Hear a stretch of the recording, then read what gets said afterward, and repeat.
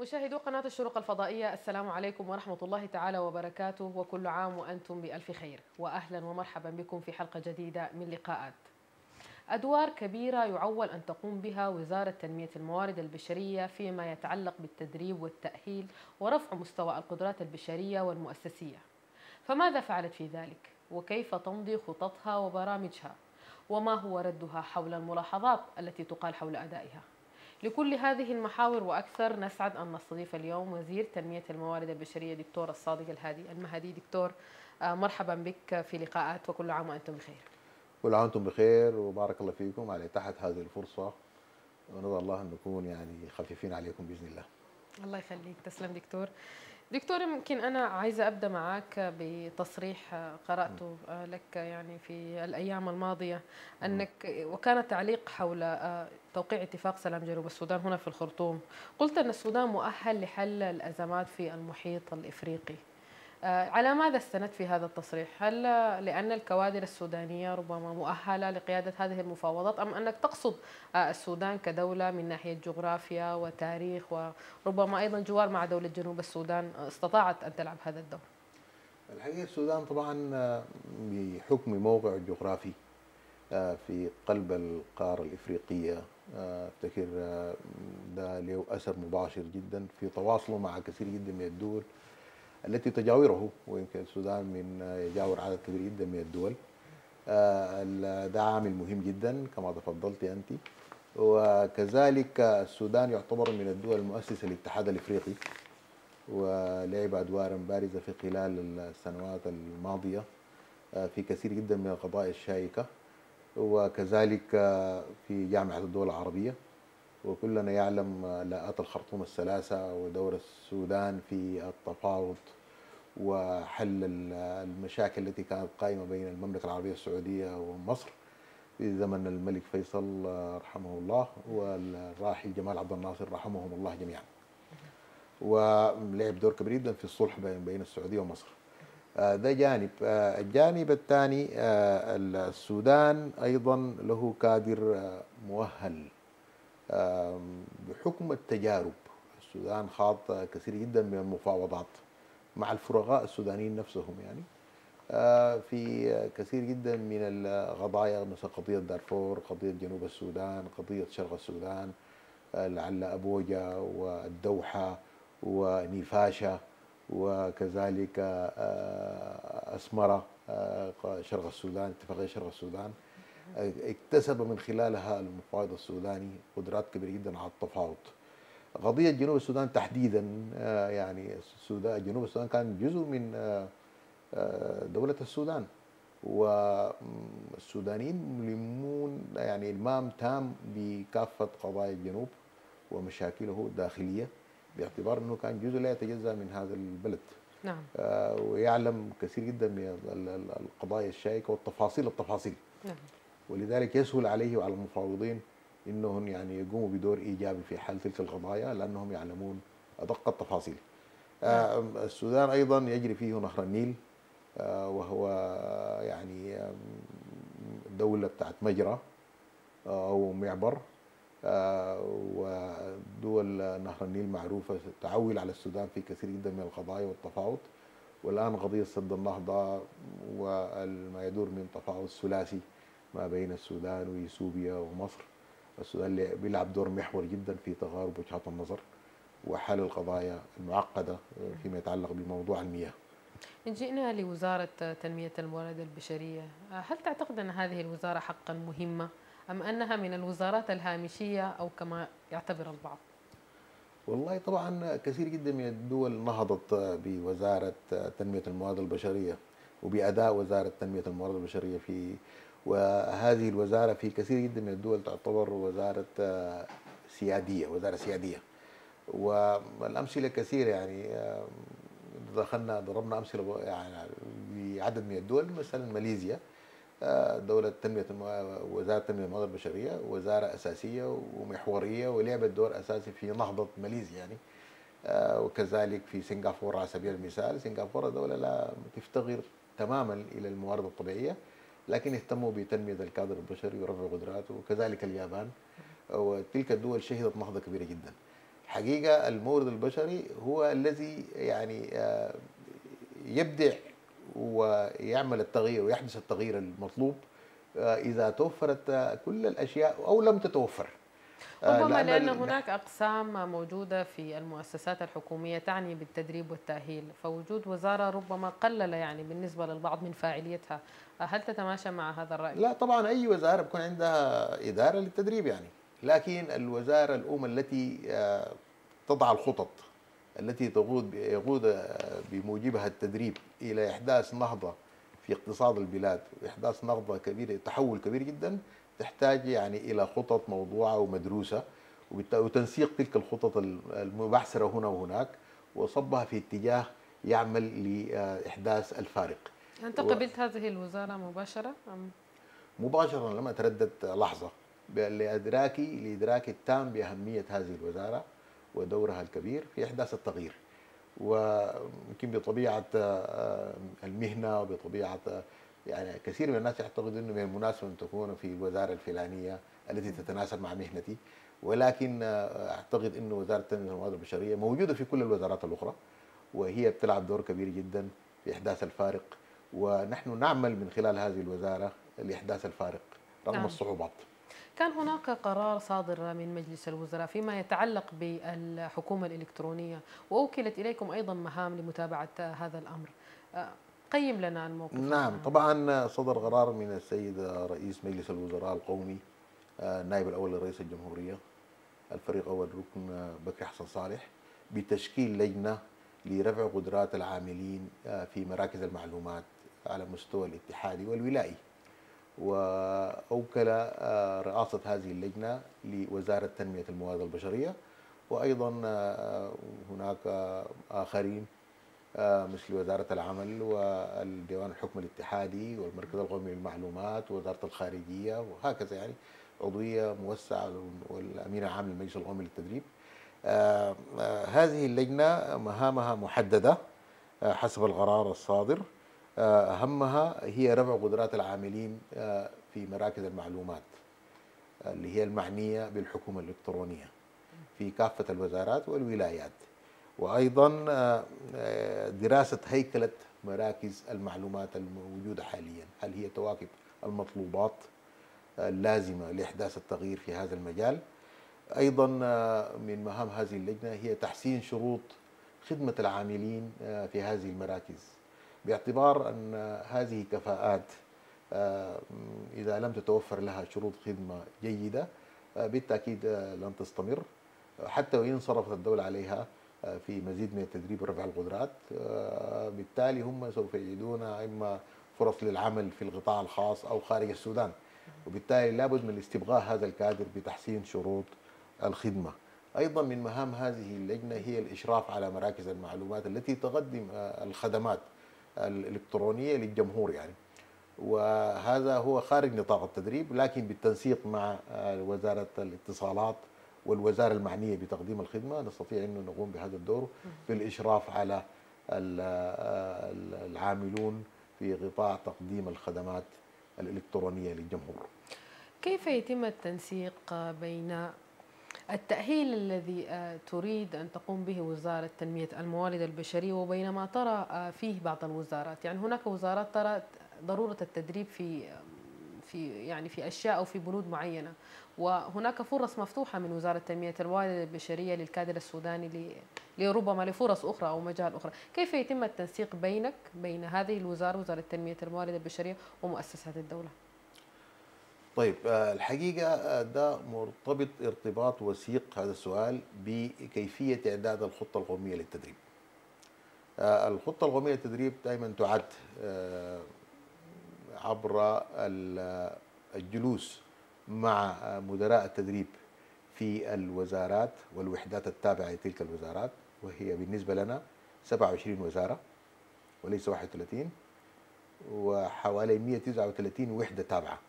أنا بقول 27 وزارة لأنه وزارة الدفاع ووزارة الداخلية لهم تدريب خاص طبعا وكذلك وزارة التربية والتعليم أو التعليم العام هي آه، لها تدريب آه، خاص باعتبار إنه المعلمين هم بلك كبير جدا وأعداد كبيرة يحتاجين. يحتاجون لتدريب خاص وأيضا التعليم العالي طبعا عنده وسائل بتاع التدريب الخاصة به باعتبار إنه معني باساتذه الجامعات في المقام الأول يعني آه، فهم ما تبقى 27 وزارة و139 وحدة تابعة آه، مدير التدريب آه، قبل نهاية العام آه، في تلك الو- الوزارات والوحدات التابعة يجلس يرفع حوجته التدريبية للمجلس القومي للتدريب. وهذه الحوجة التدريبية آه، تخضع أو تخضع لنقاش وتفصيلي من خبراء آه، مختصين آه، بالحوجة بالحوجات التدريبية للوزارات المعنية. كانت وزارات متخصصة زي مثلا وزارة الزراعة والتعدين والنفط هذه وزارات متخصصة ولها حوجة تدريبية محددة يعني أو حوجة تدريبية إدارية مثلا أو محاسبية حسب نوعية الوزارة وتخصصها يعني آه، هذه الحوجة ترفع آه، بطريقة راتبة سنويا وتدرس وتنقح وبعد ذلك آه، آه، تضمن ضمن الخطة القومية للتدريب للعام المعني مثلا عام 2019 وعلى ضوء ذلك نحن بنرفع الخطة القومية للتدريب ونطلب من المالية الم- الميزانية اللازمة لإنفاذ هذه الخطة خلال العام. بعد الموافقة المالية آه، تعرض في مجلس القطاع ال- مجلس الوزراء لقطاع التنمية الاجتماعية والثقافيه أو القطاعات المشتركة ثم بعد ذلك تعرض في مجلس الوزراء لإجازتها ثم المجلس الوطني. بعد ذلك تعتبر هذه الخطة القومية للتدريب. لكن نحن آه، يعني من العام 2000 هذا العام عملنا تغيير كبير جدا آه، في منهجية الخطة. درسنا الحوجة التدريبية لهذه الوزارات والوحدات التابعة آه، للسنين الماضية آه، ووجدنا أن هناك حوالي 490 عنوان لهذه الوزا... لهذه الحوجة التدريبية غير متكرر.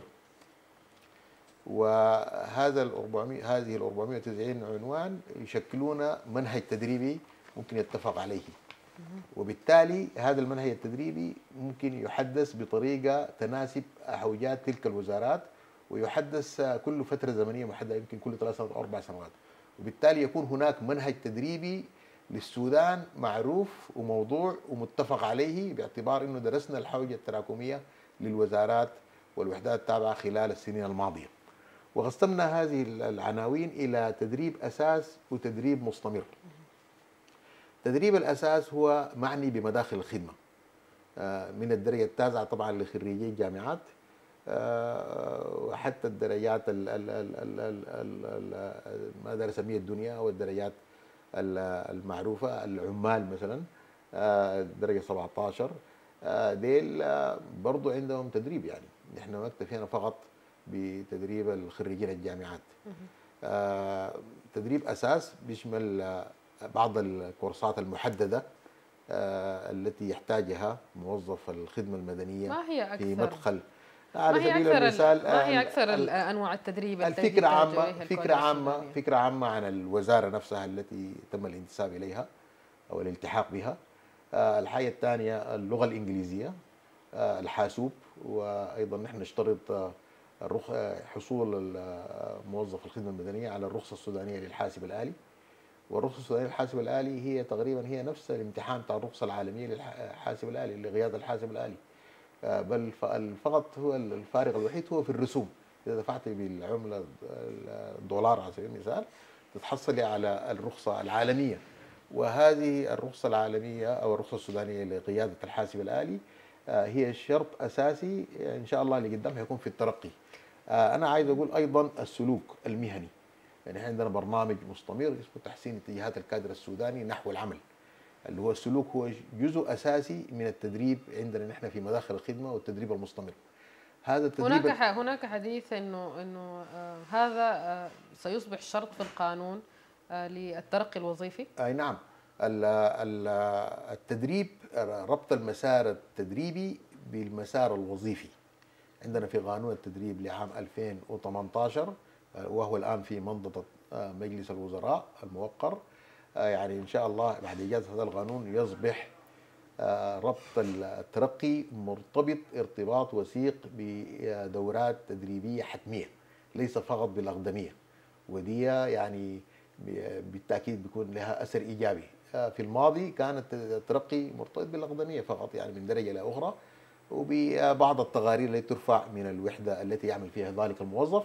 ولكن الآن ارتبط بدورات حتمية آه، بعدد معين من الساعات آه، بالتالي هذه تضاف إليه في النقاط حتى يحصل على الدرجة الكافية للترقي للدرجة الأعلى. بعد فترة زمنية محددة طبعا يقضيها في تلك الدرجة. والاقدميه عندها عندها حاجة بسيطة لكن ليس مثل الدورات التدريبية الحتمية. هذا سوف يصبح قانونا. ولا يستطيع أي شخص أن يترقى من درجة إلى أخرى إلا بعد حصول على دورات حتمية. ده بالتالي بيجود العمل وبيخلي آه، هذا الشخص الذي هذا وصل التدريب لديه علاقة مثلا بالصبر بالتعامل مع الجمهور بالتعامل مع المواطنين أم أم أنه متعلق بال بعمل نفسه؟ يعني مثلا تدريب في الزراعة تدريب في متنوع. في ال- التدريب متنوع.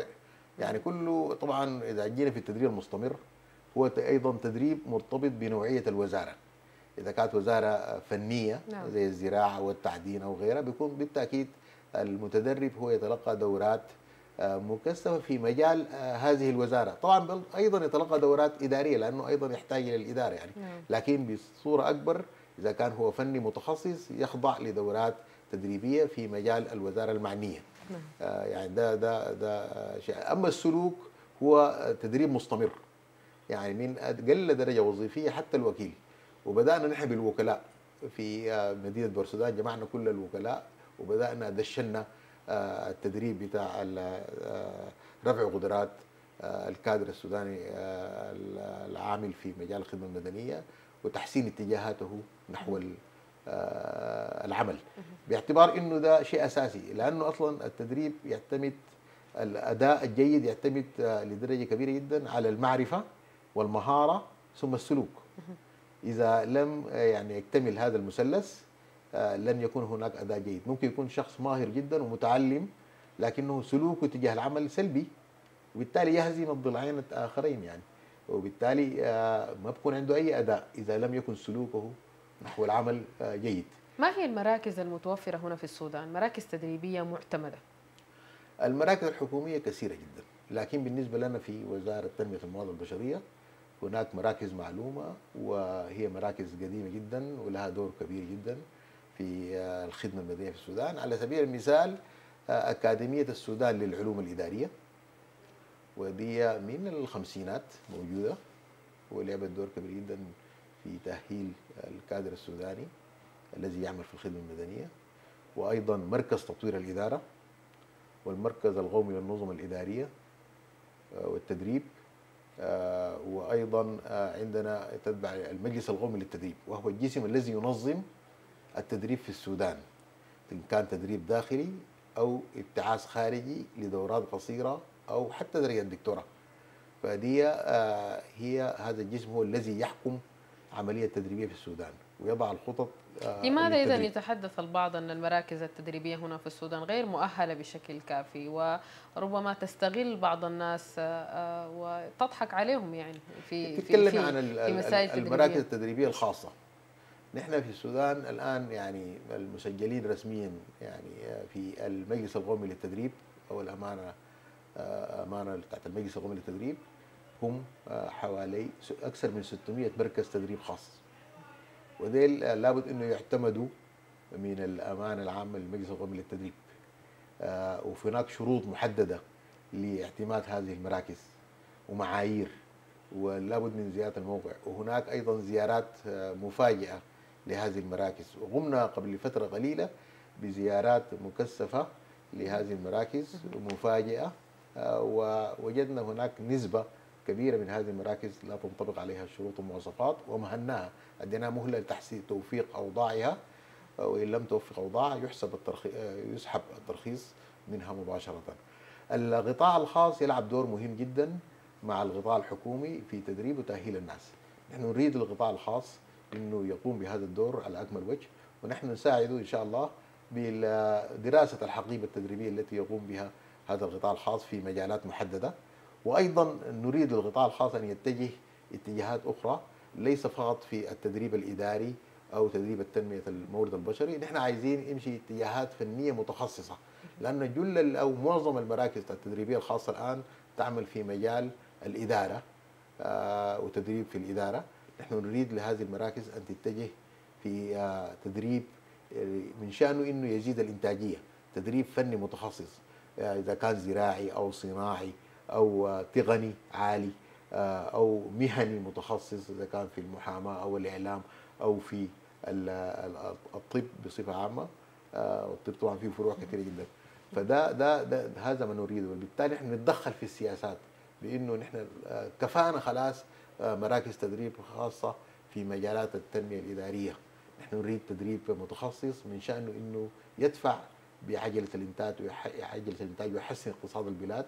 وبالتالي هذا هو ما يسمى التدخل بالسياسات في إنشاء مثل هذه المراكز الخاصة. قبل السنوات؟ هناك مراكز تدريب أخرى تتبع للوزارات بسميها زمان كانت تسمى مراكز تدريب مصلحية. آه، دي برضو لها تدريب متخصص حسب طبيعة هذه الوزارة. ونريد لهذه المراكز أن تعمل في مجالها الفني المتخصص. وليس التدريب الإداري وحده لأنه التدريب الإداري مهم طبعا نعم. لكن هناك أيضا مراكز آه، تتبع لوزارة التنمية الموارد البشرية معنية بالتدريب الإداري نعم. وهي لها في بها كادر مؤهل آه، وله تجربة طويلة جدا وضعت وزارة تنمية الموارد البشرية قبل سنوات ميزانية ضخمة آه، للتدريب والتأهيل وربما ابتعاث عدد من الكوادر السودانية إلى الخارج في ظل الوضع الاقتصادي المعقد كيف يتم التدريب الآن؟ والله طبعا الآن آه، يعني هناك آه، إذا كان تتكلم عن التدريب الداخلي وهو ده هي معظم التدريب هو تدريب داخلي. التدريب الخارجي هو بسيط يعني نسبته بسيطة مقارنة بالتدريب الداخلي. والناس بتفهم دائما إنه التدريب كأنما هو ابتعاث خارج السودان. ابدا آه، معظم التدريب يتم داخل السودان آه، في مراكز التدريبية الحكومية المعروفة. أيضا لنا نسب نديها للمراكز الخاصة حسب جودة تلك المراكز وحسب تخصصها. بنوزع لها فرص أيضا تدريبية آه، عبر الأمانة عام المجلس القومي للتدريب. وأنا أفتكر أنه يعني الآن الخطة القومية للتدريب تسير بصورة جيدة بالرغم من أنه يعني في ضعف في التمويل للظروف الاقتصادية المعروفة. ونحن يعني آه، بنجاهد مع وزارة المالية في آه، ضمان تغذية الخطة القومية للتدريب بطريقة راتبة وطريقة منتظمة حتى تقوم بدورها في رفع قدرات الكادر السوداني هل وضعتم خطة لتدريب بتكلفة أقل؟ طبعا إذا إذا تكلمنا عن التدريب هو زي ما أنت تفضلتي هو أصلا مرتبط بالمال لأنه التدريب هو هناك شخص مدرب وهناك أيضا يعني آه، أماكن بتاع التدريب تصرف عليها آه، حقيقة يعني المراكز التدريب الحكومية اللي تتبع لنا تكلفة التدريب فيها بسيطة. ونحن بنفضل إنه آه، التدريب يتم في مراكزنا الحكومية المحددة. ودي طبعا بتواجهنا مشاكل بسيطة في إنه المتدربين يرغبون في مراكز تدريبية محددة أو تدريب خارج السودان. ولكن آه، نحن بنضع الخطة وبنلزمهم بإنه هم يتدربوا في المراكز الحكومية المحددة لأنه التكلفة بتاع التدريب فيها أقل. أيضا نتجه لبناء شراكات وتوقيع مذكرات أنت تفاهم. توقع عدد من مذكرات التفاهم يعني خاصة مع يعني عدد من الدول العربية يعني فماذا يستفيد منها يعني السودان إن كانت الابتعاث إلى الخارج قليل؟ ده هو فيه إجابة لسؤالك إنه تكلفة التدريب. آه معظم آه هذه مذكرات التفاهم آه بتدي السودان فرص تحت تدريب مجاني أو مخفض للغاية. وبالتالي يعني آه، والتدريب خارج السودان نحن لم نتجه إليه إلا لبعض المجالات المحددة التي نفتقرها في السودان. ويعني معظم التدريب الذي خارج السودان يتم بمواصفات محددة. اولا إنه التدريب يكون ما موجود في السودان. الحاجة الثانية يعني آه، الشخص المتدرب نفسه يكون هو آه، يناسب الكورس التدريب الذي أبتعث له الحاجة الثالثة أنا اطمئن تماما في إنه آه، هو آه، سوف يعود ويقدم فائدة إن شاء الله للوزارة التي ابتعث منها أو للسودان. ولذلك نوقع معه عقد إذا كان تدريب طويل المدى حتى نضمن عودته إن شاء الله إلى السودان. و هناك حالات فيها في حالات في طبعا في ناس بيأخذوا دكتوراه وبيجوا راجعين. آه، في مجال خاصة في مجال الطب وغيره يعني. الواحد لذلك إحنا نربطه بعقد. إنه عشان نضمن لأنه الدولة صرفت عليه يعني بالعملة الصعبة وكده. وبالتالي لابد إنه يعود ويؤدي ضريبة الوطن يعني آه الذي ابتعثه وصرف عليه يعني. آه متجهين نحن في تقليل التكلفة بمثل هذه المذكرات مذكرات تفاهم وتوقيع اتفاقيات مع عدد من الدول والمراكز الإقليمية زي المنظمة العربية للتنمية الإدارية. وقعنا معها مذكرة في تخفيض آه، الرسوم على الدورات التدريبية وبل هناك منح مجانية. وأيضا لنا شراكات مع عدد من الدول مثل الهند والصين وتركيا وسنغافوره نفسها وتدينا فرص مجانية. يعني كاملة لدورات متخصصة. وليس دورات عامة يعني الدورات العامة ممكن تكون تكون في السودان يعني. ويمكن قبل فترة اجزنا 70 منحة مجانية تم توزيعها للوزارات. هم بيرشحوا الشخص المناسب. نحن كمجلس قومي للتدريب أو وزارة التنمية والتنمية البشريه نطمئن إن هذا هو الشخص المناسب. وإنه يجيد اللغة الإنجليزية بدرجة مقبولة حتى يستطيع إنه يستفيد من هذه الدورة التدريبية. لأنه معظم الدورات التدريبية خاصة في دول آسيا وغيرها واوروبا بتكون تحتاج إلى اللغة الإنجليزية الجيدة. آه نحن دايرين آه لكن يعني لماذا هناك حديث إنه تتم محاباة في الاختيار وربما هناك بعض الكوادر تسافر أكثر من مرة في العام في حين أن آخرين يكونوا محرومين منها. طيب نحن ندي الفرصة أصلا بنوزعها للوزارة المعنية. نفتكر إنه مثلا جاتنا فرصه بتاعت آه مجال متخصص مثلا في الزراعة بنحولها لوزارة الزراعة هم بيرشحوا الشخص المناسب. آه يعني الشخص ده إذا هم بالتالي مطلوب منهم إنه يطمئنوا إنه هذا هو الشخص المناسب ولم يتلقى نفس الدورة أو آه يعني أخذ فرصة أكثر من مرة. لابد إنه الفرص توزع بالتساوي حسب الحوجة التدريبية لتلك الوزارة وحسب الفرصة المتاحة يعني. وهنا بتجي الأمانة آه من الوحدة التدريب أو من تلك الوزارة أو الوحدة أو إدارة التدريب في تلك الوزارة. ونحن علينا في وزارة التنميه الموارد البشرية نطمئن إنه هذا الشخص الذي يبتعث آه يعني آه لم يبتعث من قبل ويعني بنراجع آه الشخص نفسه ويجيد أيضا اللغة الإنجليزية ويستطيع إنه يستفيد ويفيد الدولة والوزارة التي يبتعث منها. دي بتخضع لمراجعة دقيقة هناك طبعا وزارات بتقوم بابتعاث آخر لأن وزارة عندها إيرادات. خارج إطار وزارة التنميه وزارة التنميه الموارد البشرية وخارج إطار المجلس القومي للتدريب. س... ودي ديل ديل طبعا نحن ما عندنا حاكمية عليهم لأنه هم عندهم إيراداتهم الذاتية ومن خلال ابتعثوا من يشاءون و... ودي أنا أفتكر أيضا يعني محتاجة لمراجعة. نعم سنأتي لهذه المراجعة فيها ولكن بعد فاصل قصير. المشاهدون الأكارم فاصل قصير ونعود إليكم. ابقوا معنا.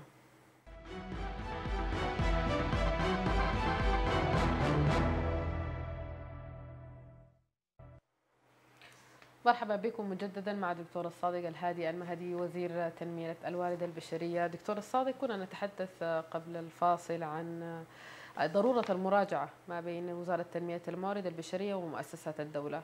هل ترى ضرورة وجود تنسيق في التدريب؟ حتى حتى إن اختارت المؤسسات أن تبتعث بعض كوادرها إلى الخارج ضرورة على الأقل إختار وزارة تنمية الموارد البشرية؟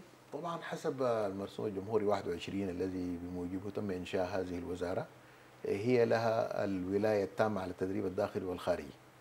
وبالتالي أي تدريب داخلي أو خارجي ينبغي أنه يتم عبر هذه الوزارة. ولكن هناك بعض التفلتات من بعض الوزارات في هذا المجال لأن وزارات تملك موارد ذاتية كبيرة وضخمة فتبتعث بعض العاملين والموظفين لديها لدورات خارج السودان. وبالتالي ما في حاكمية لنا على هذه الوزارات بالرغم من إنه الوزارة هي لها الولاية التامة على التدريب الداخلي والخارجي. وده يعتبر تفلت يعني. و ماذا إن وقعت الوزارة بنفسها مثلا مذكرة تفاهم معها؟ يعني مع وزارة نظيرة لها في دولة أخرى. طيب أي إذا كان المذكرة التفاهم فيها مجال التدريب ينبغي إنه في اللجنة أي مذكرة تفاهم أو مو أو مذكرة اتفاق أو موقع اتفاقية موقعة ما بين جهتين بيكون هناك برنامج تنفيذي لهذه المذكرة أو التفاهم أو الاتفاقية. وإذا كان هناك في هذه المذكرة حديث عن التدريب ينبغي إنه في البرنامج التنفيذي يكون في وزارة التنمية والموارد البشرية ممثلة في البرنامج التنفيذي. عشان نطمئن لإنه التدريب هذا هو تدريب فعلا تحتاجه هذه الوزارة وأيضا يخضع للخطة القوميه للتدريب، نحن نريد أن نحصر التدريب. في السودان ويكون عندنا إحصائيات دقيقة للتدريب. هل الآن لديكم هل لديكم إحصائية نعم مثلا للعام الماضي التدريب الداخلي والخارجي؟ نعم عندنا عارف عارفين دربنا كم وعارفين يعني آآ آآ في الداخل وفي الخارج وعدد البحثات الكورسات المتخصصة والبحثات في مجالات الماجستير والدكتوراه والدبلومات. دي كلها عندنا محصورة للتدريب الذي يتم عبر المجلس القومي للتدريب. ووزاره التنميه الموارد البشرية. لكن إذا حدث هذا خارج هذا الإطار بيكون نحن غير ملمين به. ونحن بذلنا مجهود كبير جدا في إنه نحن نريد إنه التدريب يكون تدريب مثمر ويصب حسب الخطة القومية للتدريب ويكون عنده عائد واضح. ولذلك نحن لا نستطيع إنه نمنع الوزارات الأخرى من إنها تدرب ناسا لكن نريد أن نحصر هذا التدريب ويكون ضمن الخطة القومية للتدريب عشان يكون عنده عائد ومردود واضح متفق عليه لأنه هذه الوزارات جلست معنا في بداية العام قبل وضع الخطة القومية للتدريب وتناقشنا في حوجتها التدريبية وبالتالي ينبغي إن حتى لو حصلت على فرص أخرى خارج الخطة القومية للتدريب انها تدرج وتضمن في الخطة القومية للتدريب حتى نستطيع إنه نحن نعمل الدراسات والإلمام بكافة الذين تم تدريبهم في السودان. ويكون دي موجود لدينا في خطتنا وفي إنجازاتنا. أي نعم تحسب هذه الإنجازات للوزارة المعنية. نقول الوزارة المعنية دي دربت لنا كذا لكن جملة التدريب في السودان هو كذا. بالتالي أي تدريب يتم دون علم وزارة التنمية الموارد البشرية ده بيكون خارج هذه الإحصائيات. وده بيعتبر يعني قد يكون له عائد إيجابي لكن قد لا يكون له عائد إيجابي. وإذا كان لم يكن له عائد إيجابي يعتبر هدر للمال في ظل موارد هي شحيحة. وبالتالي نحن نريد الحاكمية. نعم. ونريد ايلول التدريب لنا عشان نضمن جودة التدريب نضمن العائد منه نضمن الفرص إنها تمنح للناس بعدل ومساواة. الأكثر تدريبا يتبعون لأي مؤسسة؟ هل مثلا مؤسسات خدمية سياسية اقتصادية؟ يعني طبعا نحن مشينا الآن في خطوات ثانية مع بنك السودان. إنه لأي شخص عايز يتدرب خارج السودان هو محتاج له عملة صعبة يعني. والعملة الصعبة أصلا هي شحيحة. لابد من موافقة وزارة تنمية الموارد البشرية ممثلة في المجلس القومي للتدريب لابتعاث هذا الشخص. حتى إن كان مبتعثا من وزارة لا علاقة لها بالخطة القومية للتدريب. الحديث الذي تحدثت عنه أنت قبل قليل. وبالتالي هنا يعني نريد أن لهذه الوزارات التي تقوم بتدريب خارج إطار الخطة القومية للتدريب أن ترجع للمجلس القومي للتدريب عشان نضمن إنه هذا التدريب هو التدريب المطلوب ونضمن إنه نحن قدرنا يعني ضمن فرص المساواة للعاملين في تلك المؤسسة وإنه هذا الشخص لم يبتعث أكثر من مرة. وأيضا الكورس هو ملائم لهذه الوزارة. ويصب في خانة الخطة القومية للتدريب التي تم الاتفاق عليها مع نفس تلك الوزاره يعني. هل توجد متابعة لمعرفة مدى استفادة الشخص الذي تم تدريبه سواء كان مثلا في داخل السودان أو خارج السودان؟ هل هناك طبعا قياس؟ تتحدثي عن قياس أثر التدريب. نعم. آه ودي واحدة من البرامج التي الآن آه الوزارة تعمل عليها بقوة. آه لأن يعني قياس أثر التدريب في الماضي كان يعتمد على التقارير التي يرفعها رئيس ذلك المتدرب لرؤسائه المباشرين. إنه هذا المدرب هذا الموظف تلقى كورسا تدريبيا في هذا ما يتحسن أدائه أو لم يتحدث أو لم يتحسن. لكن هناك أيضا يعني برامج اللي هو لقياس اثر التدريب. بدأت فيه الوزارة وبرنامج كبير ما سهل لأنه من الصعب جدا قياس اثر التدريب بطريقة مباشرة لأنه بيتطلب أشياء كثير جدا غير التقارير المرفوعه بيتطلب أشياء أخرى. نحن نريد أبعد من ذلك ليس فقط قياس اثر التدريب. نحن نريد لهذا المتدرب أن يدرب الآخرين على ما تم تدريبه عليه يعني آه، هو أخذ كورس معين في حاجة محددة آه، يجب إنه ينقل هذه المعرفة إلى الآخرين آه، وليس فقط نحن عبر هذا البرنامج لا نغيص فقط قياس اثر التدريب بل نريد أن ان نغيص مدى أثر التدريب على الموظفين الذين يعملون حول هذا المتدرب. هل الاختلاف بين التدريب الداخلي والخارجي كبير جدا؟ دائما التدريب الخارجي هو لكورسات آه، متخصصة وليس تدريبا عاما يعني. نحن نحبذ أن يكون هكذا يعني. آه، التدريب الداخلي آه، في معظم الأحيان هو تدريب آه، عام. وتدريب يعني قد يكون متخصص في مجالات متوفرة لنا في السودان يعني مثلا على سبيل المثال في مجال الثروة الحيوانية السودان عندهم آه، قدرات كبيرة جدا عندهم مراكز تدريب متقدمة يعني وتستطيع إنها تستوعب أيضا متدربين من خارج السودان يستفيدوا من تلك التجربة يعني. آه، في مجال مثلا الطب يعني الآن ال- ال- ال- المجلس القومي للتخصصات الطبية الآن في مبتعثين ويجون من دول أخرى يعني. في مجالات السودان متفوق فيها يستطيع إنه يقدم مساعدات لدول أخرى يعني.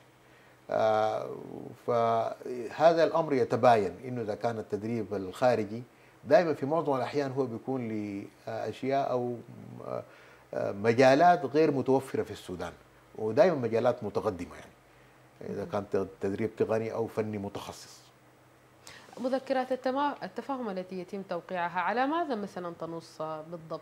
يعني فقط على على تبادل ال- الكوادر آه، أم تنص على أشياء تبادل بنود أخرى الخبرات في معظم الأحيان هي بتنص على تبادل الخبرات والتجارب بتاعت تلك الدول. آه، على سبيل المثال إحنا في آه، وزارة التنمية والموارد البشرية وقعنا آه، مذكرة تفاهم مع وزاره التكوين. التكوين المهني اللي هي التكوين في تونس بتسمى هي أو في المغرب العربي مرادفه لكلمه التدريب يسموه تكوين.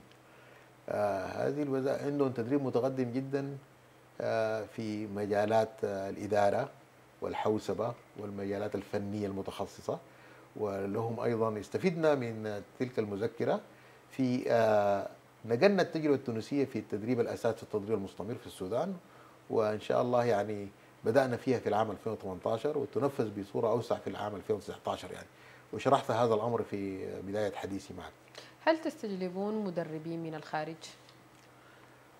ال- ال- ال- ال- في الجانب الحكومي يندر أن أن يعني يجينا مدرب من خارج السودان إلا فيما ندر لا إلا في مجالات متخصصة نحن نفتكر إنه أرخص إنه نحن نجيب المدرب في السودان بدل نبتعث له عدد من ال- الموظفين خارج السودان. آه، لكن في معظم الأحيان المدربين بيجونا من الخارج هم في القطاع الخاص. وهنا نحن برضه بنتكلم عن المعايير بتاعت المدرب. لأنه لابد إنه نطمئن إنه هذا المدرب هو يمتلك من المؤهلات اللازمة والخبرة الكافية لإنه يدرب لنا الكادر السوداني. ودي من ضمن الأشياء الداخلة إن شاء الله من في قانون التدريب الجاي إن شاء الله لعام 2018 ده قانون كبير جدا وفيه تغ- هيعمل ثوره في مجال التدريب في السودان. هناك عدد من مؤسسات الدولة آه، ليس لديها قسم خاص بالتدريب. كيف تعتبر يعني كيف يمكن أن تصف هذه المؤسسات؟ وهل وضعت أي توصية ربما لكي تشمل هذه المؤسسات إدارة متعلقة بها؟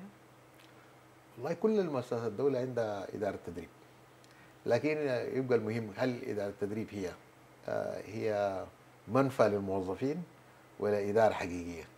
لأنه يعني كثير في الأحيان إنه آه، مدراء التدريب هم يعني آه، من المغضوب عليهم في هذه الوزارة يعني. أنا بتكلم بصراحة وشفافية يعني.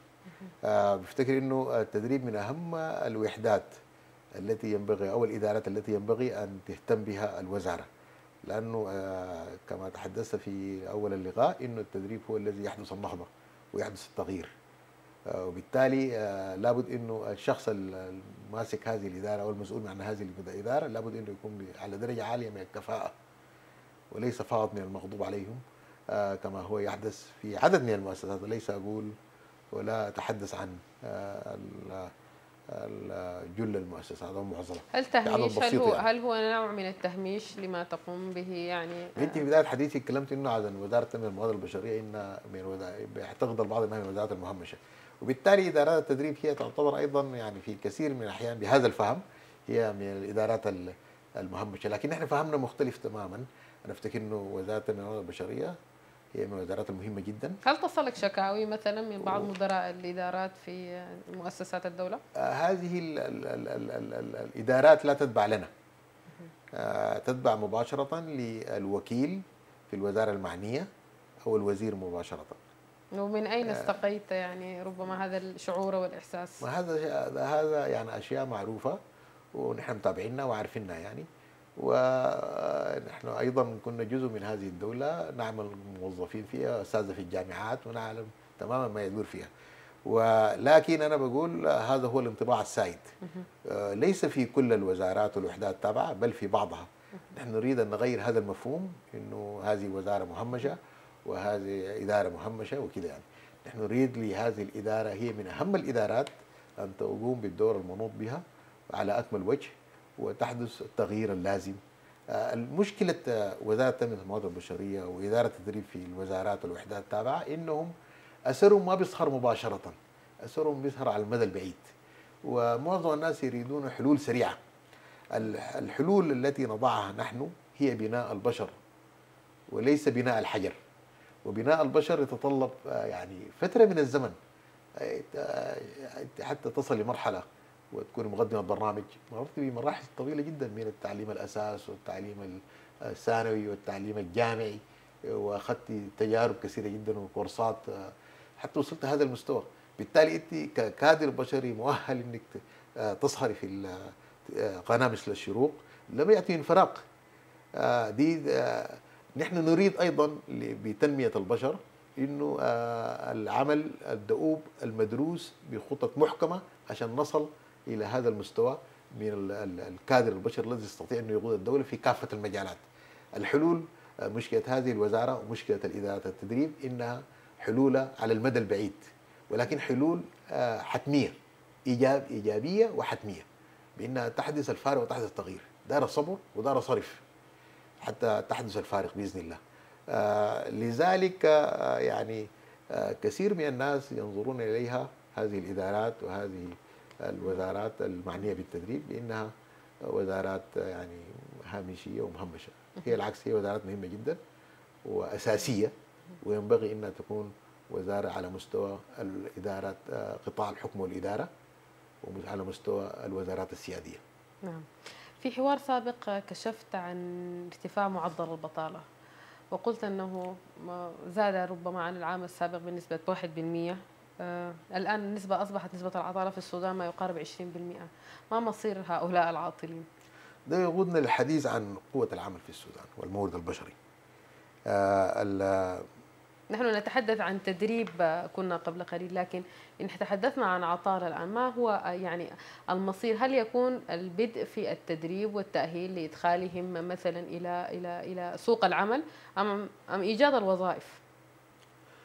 طيب آه، إذا الحديث عن العطالة والبطالة في السودان آه، هو حديث طويل وشائك وكيفية إيجاد حلول آه، لهؤلاء المتبطلين يحتاج إلى تحسين الوضع الاقتصادي بصفة عامة وليس فقط خطط تدريبية أو غيرها يعني لأنه نسبة البطالة هي مرتبطة بالوضع الاقتصادي بصفة عامة.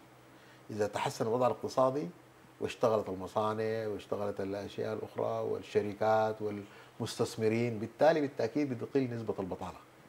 آه، ده جانب. لكن ماذا عملنا نحن كوزارة تنمية الموارد البشرية لمحاربه البطالة آه، في السودان. آه، أنا أتحدث انه معظم الذين يبحثون عن عمل وليس المتعطلين أو المتبطلين ديل نحن نسميهم هم يبحثون عن عمل. فمعظمهم هم من الخريجين. والدولة بالتأكيد لا تستطيع أنها تستوعب هذا الكم الهائل من الخريجين في أجهزتها خاصة بعد ثورة التعليم العالي. ولا بد من إيجاد قنوات أخرى. لذلك تم آه، إنشاء الجهاز القومي لتشغيل الخريجين. والجهاز القومي لتشغيل الخريجين هو إحدى الوحدات التي تتبع لوزارة تنمية الموارد البشرية. ونحن نعمل في هذا الجهاز في محاور أساسية ثلاثة. المحور الأول هو تشجيع ثقافة العمل الحر. وإنه آه، نخلي الخريج إنه ما يفكر إنه يشتغل في الحكومة لأنه حتى لو اشتغل في الحكومة في النهاية هيدوا كم.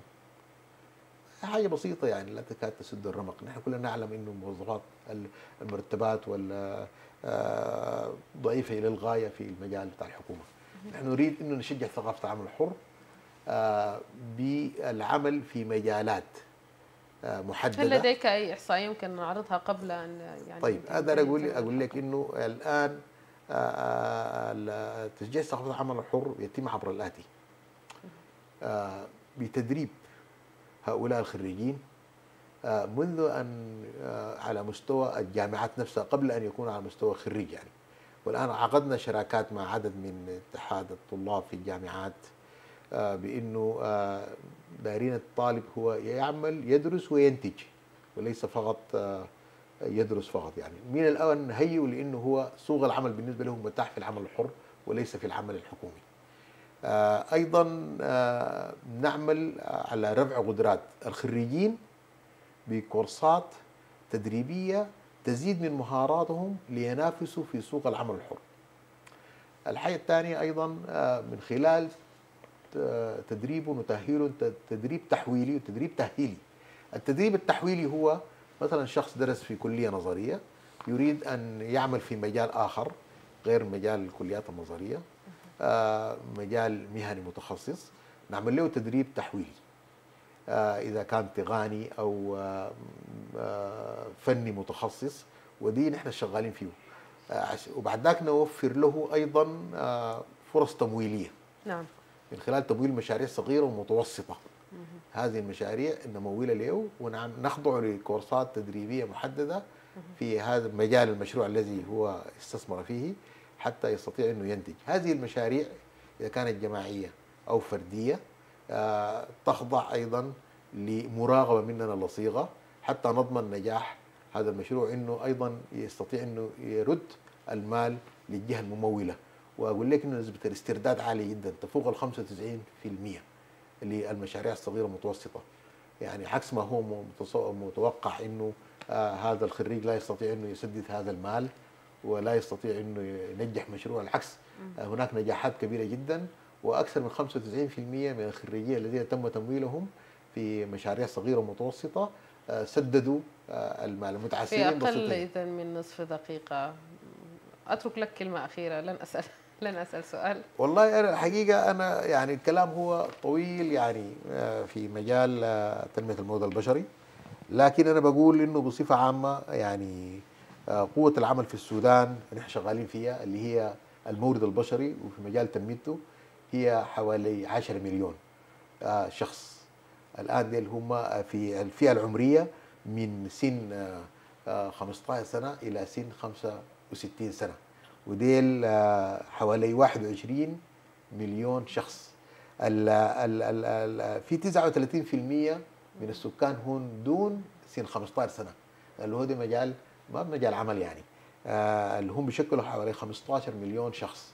العاملون في مجال المورد البشري فيهم 42% ديل يعملوا في مجال الزراعة. و11% فقط الزراعة والثروة الحيوانية. وفي حوالي آه، 4 13% ديل يعملوا في مجال التجارة. نعم. وإن كانت عامة آه، أو يعني آه، تجارة قطاعي أو آه، جملة يعني. نعم. وهناك أيضا حوالي آه، 13 آه، 12% يعملون في الخدمة المدنية. نعم. وانت شايفك مستعجلة لكن ده كلام مهم جدا وأساسي لأنه هو بيقودنا إلى حديثنا الأساسي في إنه نحن نريد 42% الذين يعملون في مجال الزراعة والثروه الحيوانية. هذه النسبة آه، نسبة كبيرة. نحن نريد لهذه النسبة أن ترتفع أن تقل وتتوجه هذه النسبة إلى آه، آه، مجال الصناعة لأنه مجال الصناعة الآن الذين يعملون في مجال الصناعة حوالي 11% فقط. الدول التي نهضت وعملت تحول كبير في اقتصادها اهتمت بالصناعة التحويلية والقيمة المضافة لمنتجات الثروة الحيوانية والزراعية ونحن نريد آه، أن نتجه سياسة الدولة تتجه نحو زيادة نسبة الذين يعملون في الصناعة والقيمة نعم. المضافة لأنه 42% هؤلاء الذين يعملون في الزراعة والثروة الحيوانية ديل يعني آه، الآن المكننة والمجالات الأخرى التي تظهر آه، حقيقة. نعم. يعني آه، نحن صادراتنا كلها آه، خام. نعم. نحن نريد لهذه الصادرات والمنتجات في هذا المجال الثروة الحيوانية والصناعية تكون فيها قيمة مضافة حقيقية آه، وذلك لا يتم إلا عبر الصناعة شكراً. والصناعة التحويلية لهذه المنتجات. شكرا. وده بيتم بالتدريب والسياسات العامة للدولة. نعم. ووزاره التنميه الموارد البشرية هي لو تمسح سوق العمل وبتضع آه، ال- تسلط الأضواء على تلك النسب. تريد أن تركز على جانب الت- القيمة المضافة وجانب الصناعة التحويلية التي تحدث الفارق آه، في المورد البشري وفي الاقتصاد الكلي للبلد. شكرا لك دكتور الصادق الهادي المهدي معلش يعني أنا ضايقتك لكن الزمن آه، شكرا جزيلا لك على هذه الإفادات القيمة في حلقة لقاءات شكرا لك. شكرا شكرا شكرا. بارك الله فيك. والشكر يمتد لكم المشاهدون الأكارم إلى أن نلقاكم في حلقة أخرى. في أمان الله. We'll be right back.